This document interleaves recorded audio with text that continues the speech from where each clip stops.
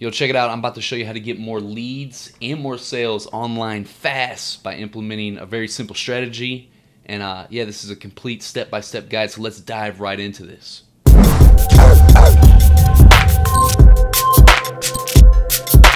What up, what up? Zachary Babcock here with Underdog Empowerment. And uh, yeah, man, we're going to dive right into this, dude. So check it out, man. Um, what the tools we're going to use, this is a brief overall strategy. And what that entails is we're going to create a lead magnet, which is essentially something that you're going to give away in exchange for an email address. Uh, so we're going to create that, and then we're going to set up an autoresponder series to follow up with these leads in our email service provider. Uh, that's going to lead to a sale or lead to them becoming raving fans of yours and then we're gonna cap we're gonna build the actual landing page on how we're actually gonna capture these leads and then I'm gonna show you exactly where to place these on your website and how to drive drive traffic to these uh, landing pages so that you can capture leads so the tools that I use for this we're gonna use Canva to create the lead magnet we're gonna use uh, ConvertKit for your email service provider. If you already have an email service provider, cool. Um, if you don't, that's the tool that I recommend. And we're to use Leadpages to build out the landing page. Um, once again, if you don't have uh, a landing page builder, that's what I recommend. If you already have one, awesome. I'm going to link up all the tools that we're going to use in the description below so you can go and review them when you're ready for them. Uh, let's dive straight into uh, building a lead magnet. Now, there's three types of lead magnets that you can build. Well, there's a bunch of them actually. I'm just going to go over three of them uh, real quick. So, one of them uh, would be uh, to give away like an ebook or uh, a short guide in exchange for an email address. Now, I wouldn't recommend writing a humongous, long uh, ebook, like a hundred something page ebook, because uh, nowadays people want something like a quick hit, something that they can consume very quickly, and they don't want it to slog through uh, all of your lead magnet to read it. So give them something that you can offer a quick win and a short, you know, maybe like a 30 page or less uh, PDF file uh, that you're going to give in exchange for an email address. Another one that you could do is like a, a, free video series that you host in like a membership site area that they get access to once they give you the email. Um, that's another way that you could go about it. That works pretty well, um, and it has a lot of perceived value by saying it's a course that you're going to give them free access to. Um, and finally, uh, one of, another one of my favorites is to offer an email course.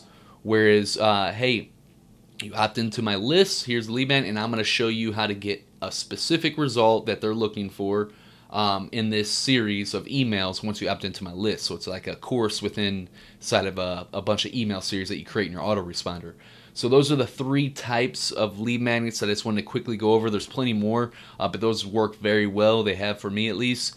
And um, let's go dive into actually how to create this lead magnet. So let's jump on here on Canva, and I'm gonna show you how to quickly create one uh, really fast that you'll be able to put together. All right, this is we are inside my uh, Canva account now. Um, what I'm gonna show you, the lead magnet, I'm gonna show you how to create is the first one we discussed, which is a ebook or small guide that you're going to give away to your audience. Now, um, if you don't want to start out with Canva with something like that, you could do. I would recommend going with the uh, email course that you give inside of your email, so that you can cut down on costs. Canva's like ten bucks a month or so, I think, or fifteen dollars a month, somewhere around there. I'm going to open up my guide that we currently uh, have. And what this is, this is the uh, 24 costly email marketing mistakes. And um, I just want to show you the cool things that you could do in there. So these are like images this is just like the first page. All right, this is like a this is uh, like a 20 something page uh, email guide and it's uh, basically I'm telling a story right here, uh, sharing why email marketing is so powerful, what it's done for me in my business, and then I share 24 email marketing mistakes that I've made um, or that I've learned from other people and how to avoid them. Um, so how you make this? So you first start off with the right file size. So I like to make uh, my uh, in, there's no right or wrong way, but I like to make mine uh, 1198 by 920 pixels uh, for the design, and that comes out really crisp whenever you download it to a PDF file size.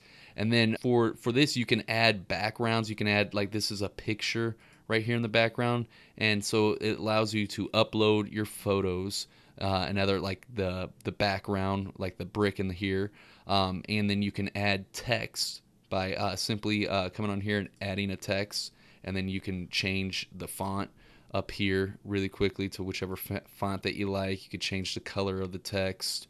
Um, you can uh, also change the size of it. Uh, if you want to go even bigger, you could just type in the size that you want. Um, you can align the align it obviously uh, to which you know if you want it in the middle, if you want it going off to the side. Does a lot of cool things with the text. I'm gonna delete that because I don't want that there. Um, so you'd put in there, and then you can add images. They have a lot of free images here, so you can go to Elements right here, and then when you're in Elements, you can search. Um, I put email, and then you can search email and then you can even put a filter on there to make sure that you're getting free because it'll say free right here. If it's free some of them will cost. Like this is a premium one. It might cost like a 50 cents or a dollar to get. Um, find some designs you could throw it in there. Same thing i did with the stop sign.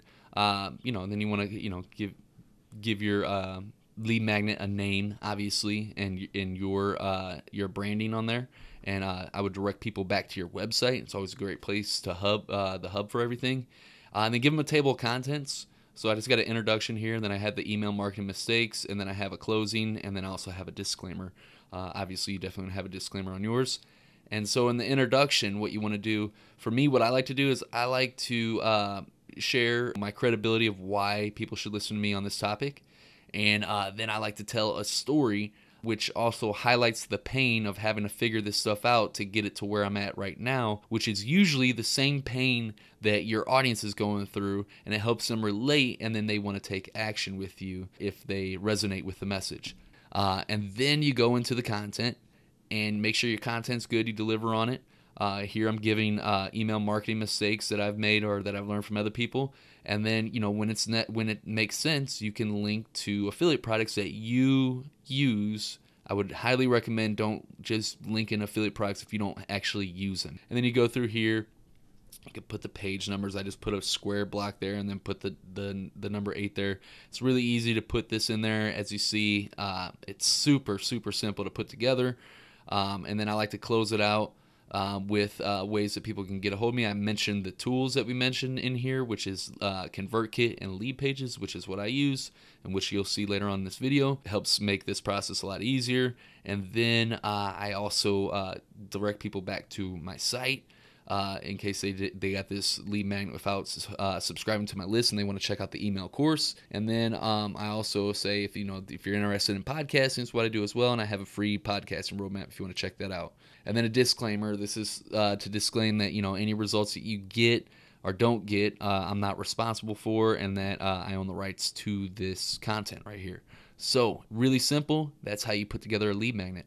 All right, now that you got your lead magnet dialed in, the next thing up is to actually create an autoresponder uh, series, uh, which is your follow up emails that is going to nurture your audience and then also it possibly leads them to a sale for them uh, to take eventually after you nurture them through your email uh, sequence. So what I like to use is ConvertKit. That's my email email service provider of choice. I'm gonna link that up in the description. It is super kick ass.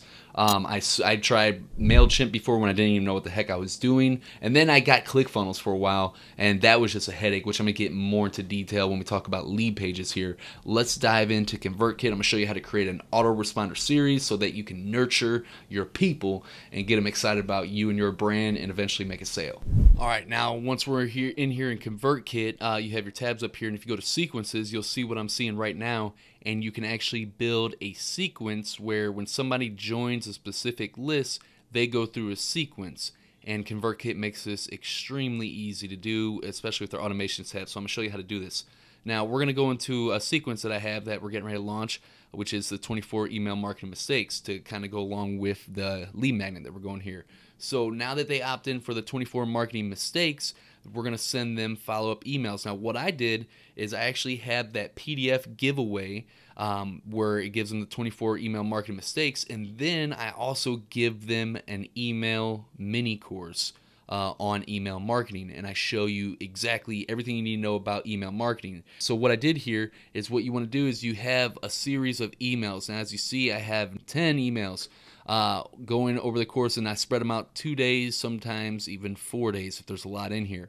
What you want to do in the first email is you want to quickly introduce yourself, uh, build some rapport, give them their download, and then get, show them what they, to expect and uh, and mention any resources where I mentioned ConvertKit here and show them you know I, sh- I say hey over the you know we're going to cover this all this you know how to you know, three rules for email marketing, five strategies to grow your email list with quality subscribers, seven email uh, lead magnets, how to write autoresponder series like we're doing now, and all this. We go deep into this. Um, and so that's what you want to do in the first email. Kind of keep it short if you can. Uh, this is 688 words. And then you deliver each day. And you be very, the key here is to be very helpful in these emails to make sure that you are delivering.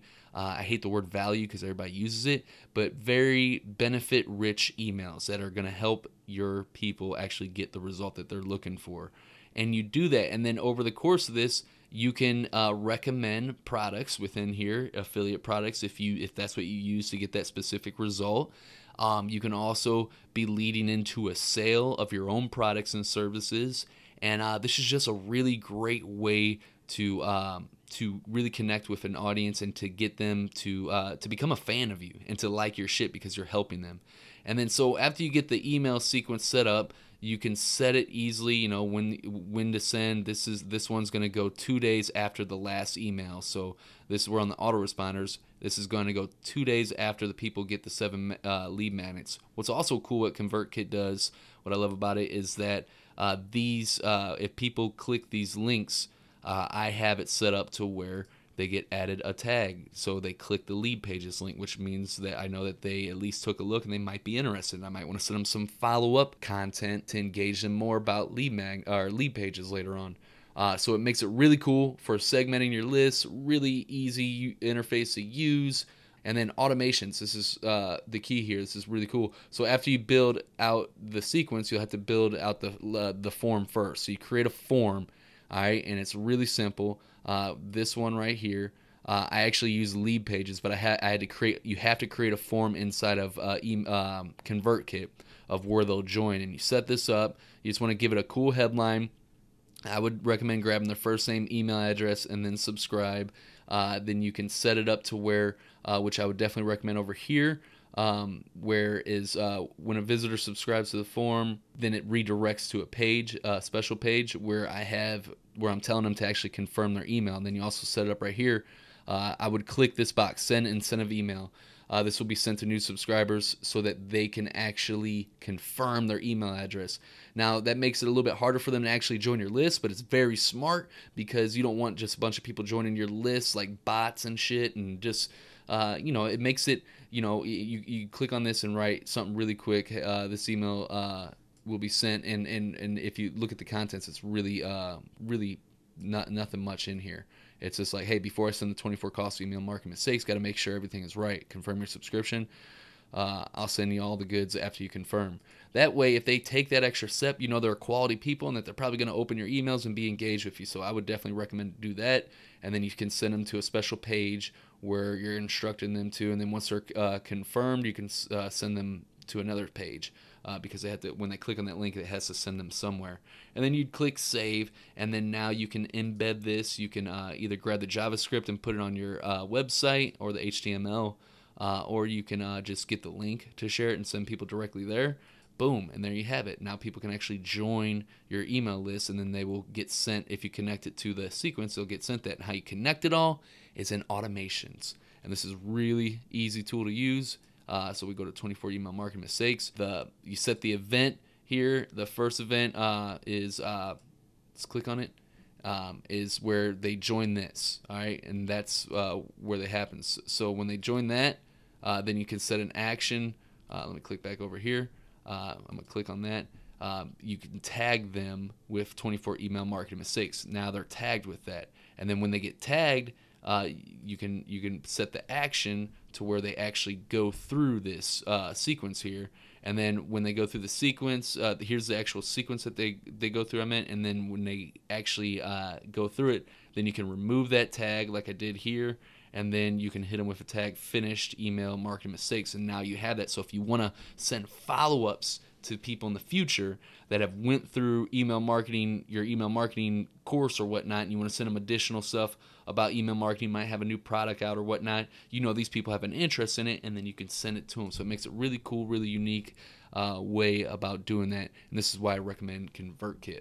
All right, so technically you don't, you're good. You don't need a landing page tool builder. You don't need that because you have ConvertKit and you built the form, and so you're good to go. You can actually send people directly to that form. You can capture the email there. It'll be stored right in ConvertKit, and then you'll be able to send them the autoresponder series. However, if you want to take it a step further, like I do when I recommend, I would recommend using an actual landing page tool builder uh, to capture leads. And the reason why, well, it's kind of a couple reasons why. Uh, one, it's a uh, better, cleaner design and uh, it's also a lot more capabilities. You can also do a lot more, which I'll show you in just a moment. But most importantly, you can get higher conversions by using a really nifty tool on lead pages called the two step opt in, which I'll show you what that is and I'll also show you where to place this on your website so that you can get more conversions. So let's dive right into lead pages. All right, when you're inside of lead pages, first off, the reason why I moved off of ClickFunnels to lead pages because ClickFunnels was very limited in my opinion. I couldn't do two-step opt-ins, which I'm getting ready to show you now what that looks like. And also, it doesn't integrate very well with WordPress. So for my case, I need a WordPress website um, and I believe uh, anybody building an audience, you do need a real website. And with ClickFunnels, you can't rank for SEO like you can here in lead pages. You can actually rank your landing pages on an SEO on Google. And it's a lot cleaner, crisper uh, look, and it integrates perfectly with WordPress and with ConvertKit. Another reasons why I didn't like ClickFunnels was because of the limitations as far as email goes. So inside here, we have uh, landing pages which you can build, which I suggest. So we're going to go to email marketing mistakes. Uh, and inside here, you can create a really beautiful design that works great. And uh, I just quickly threw this together, but you can add an image and you can edit it. They have uh, widgets over here that you can add. So you can add a headline like I do here. You can literally just drag it and place another one in there. And then you can uh, hit this and you can actually change the text if you need be. You can uh, change the style if you want it to be super big. You can uh, change the color of it and so on. You can change it to be bold or not bold um, all that good stuff. And then, so how I would create a lead magnet is I would have uh, an engaging headline, 24 costly email marketing mistakes, which that's going to rise uh, feelings of maybe anxiety, like, oh my God, what is that? And maybe, uh, you know, a desire to scratch the itch. They want to know what those 24 costly email marketing mistakes are so that they can avoid them. And then also, and how to get more opens, clicks, and sales from your subscribers. And then uh, give a quick bonus, which I like to throw in there. Uh, download the 24 costly email marketing mistakes and get instant access to my email marketing course. And it shows them all the benefits of what they're going to get inside that course. And then uh, a simple disclaimer, uh, especially if you're running ads on Facebook. Uh, let it know that's not Facebook site, um, and then little contact button, all that. And this button here, this is part of like a two-step opt-in. I'm gonna show you it where how it's on my pay uh, website because I use it on my website as well. But what this does, instead of just having the email right here, they got to click this because they want the guide. And when they click this, they're saying yes. It gets them into a yes pattern. It's something that they want and then when they click that, then uh, then this will pop up, and they're already in a yes pattern. They've already committed once, and they want to get this. So I said, "Where do you want me to send this, Batman Majama?" And then simple as that.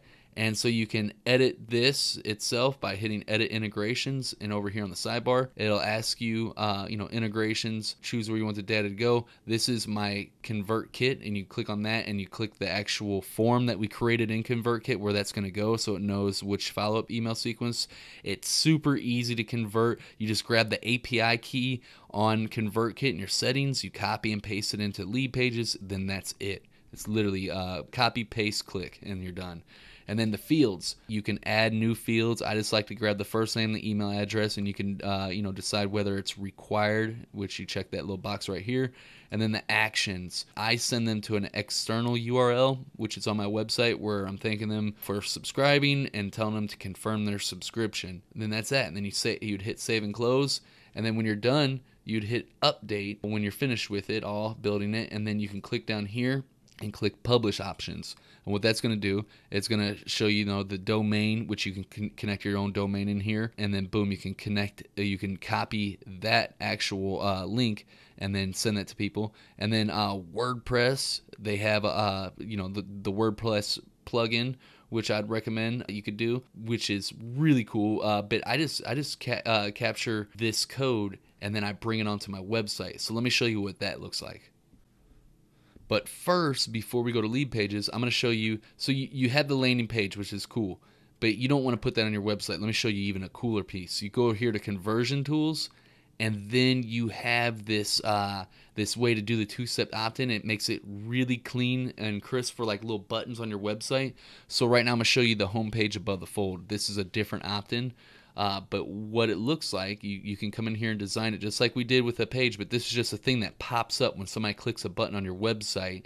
And then you can obviously put in your headline, uh, the reasons to subscribe, and then email thing, click here to subscribe. Now I had the email stuff already right here because this is if they click a button, this is going to pop up and then it's going to be right there for them. So let me show you. Uh, let me show you exactly what the, this form looks like, how to use it on your website, the two-step opt-in form.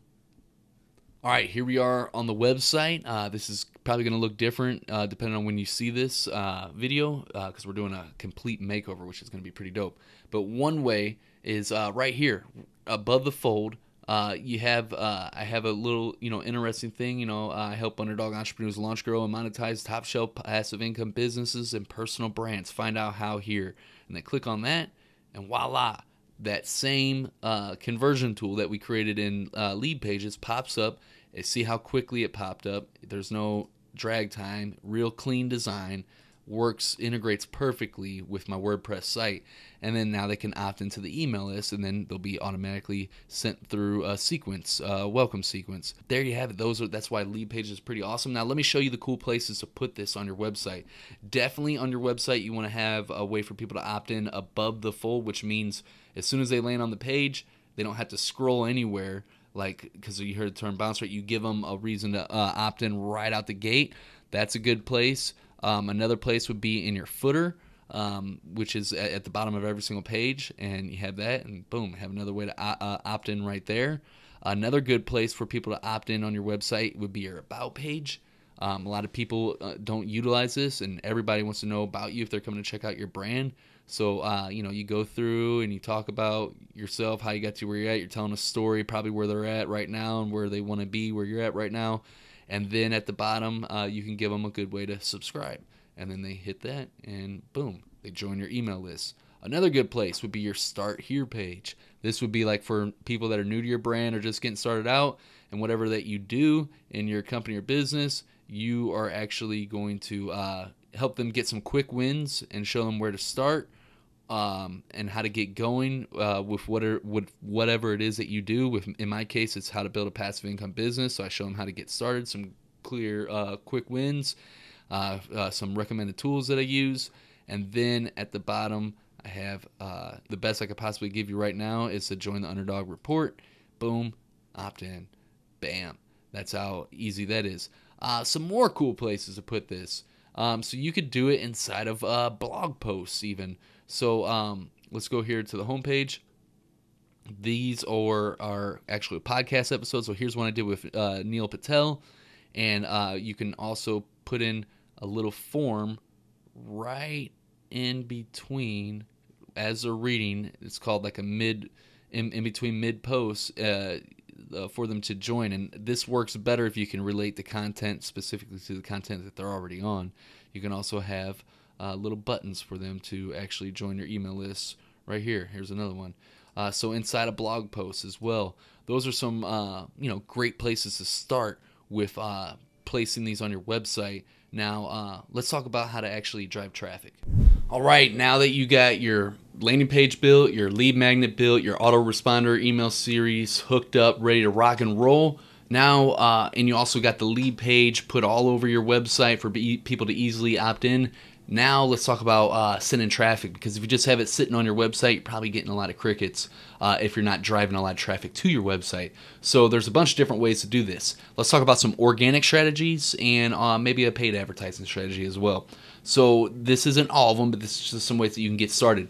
One is you can make a post on Facebook or on Instagram. If you got the swipe up, you could link directly to it. Uh, but you can make a post like on Facebook, and you could talk about you know what you've created um, and make it real short and sweet. The benefit, it's always got to be about the benefit that the person is going to get from getting that lead magnet and then you could say, "Hey, if you guys want to check this out, uh, let me know in the comments, and I'll uh, link it up to uh, link it up for you." And then as people start, "Yeah, I want your guide on email marketing," like, "Cool, I just sent it to your inbox." And what that does by not just linking it in the uh, post, for one, you don't have it linked up in the actual post, so it's not killing your reach on Facebook.